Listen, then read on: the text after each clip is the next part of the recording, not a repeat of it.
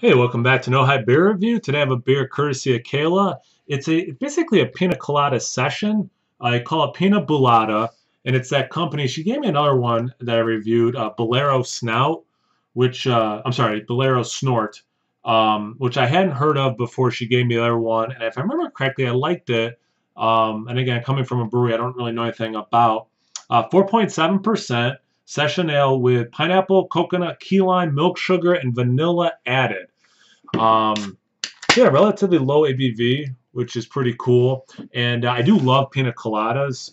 Uh, it is a drink I like when I'm, you know, in some tropical destination. Um, so I'm thinking I'll like this.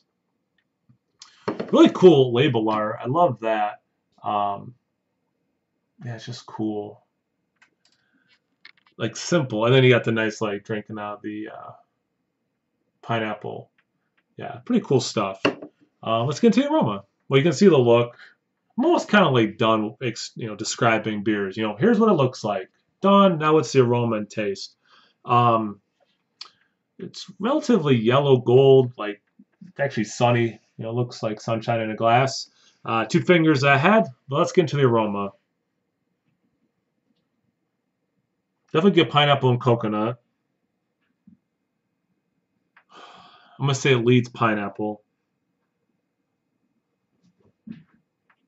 Sweet. I don't get vanilla. I don't I don't get a whole heck of a lot of lime, but I definitely I mean if it, for a pina colada I want the coconut and pineapple being dominant. Uh, the lime is nice, subtle. Again, I don't get the vanilla. The sweetness is there, so it, you know it doesn't smell like you just blended up a pina colada, but you do get the aromas that should be there for a beer version of this. Yeah, I mean, okay, again, like when I was, I didn't expect this to be like I blended up pina coladas, but for a beer that's about as close as you're going to get to the right aroma, uh, let's see what the taste is. Cheers.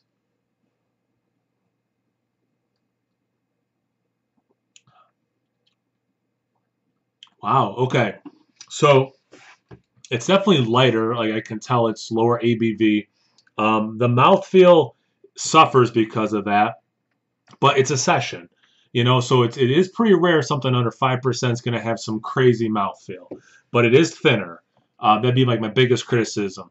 In terms of flavors, huge sweet pineapple, but not like, it's weird. It's not ripe pineapple. It's relatively fresh pineapple but with an added uh, uh, um, independent sweetness. So, because uh, usually you know, right, the riper the pineapple, the sweeter it is, but it's not that kind of flavor.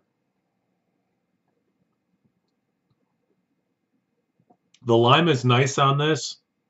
The coconut is uh, more faint than I would think, but the lime is a nice touch, uh, adds to the tropicalness of the pineapple. I'm not independently getting vanilla in the taste either um, the sweet the sweetness and the um, I'm wondering from the uh, lactose or yeah milk sugar. Um, that's probably some of the sweetness I'm getting. Very refreshing. Um, this is without a doubt a warm weather beer.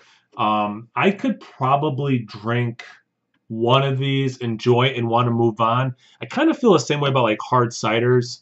Like I like hard cider enough, but after I drink a whole glass of one or a can or bottle, I'm usually like, excuse me, ready to move on to something else. And uh, let me take another swig and see if I change my mind. But I kind of think that's what how I feel about this.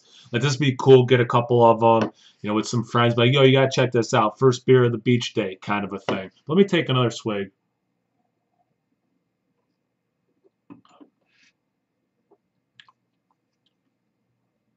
Yeah, I'm not going to change uh, my opinion about that. Um, I would gladly do one, but I'm going to want to switch to something else. And probably, you know, starting with this, with this session, I might just switch to something as simple as like Founders All Day IPA. like another session, uh, but just maybe with a different flavor profile and um, uh, one that I, I, have in the past drank during the course of a day with friends uh, on some water or whatever. But a good beer. I'm glad I got to try it. Um, so far, they're making some cool stuff from what I've been able to try from them. Thanks again, Kayla. And uh, of course, as always, uh, thanks for watching. Appreciate it every single time. Uh, like, comment, subscribe, and most importantly, imbibe. Cheers.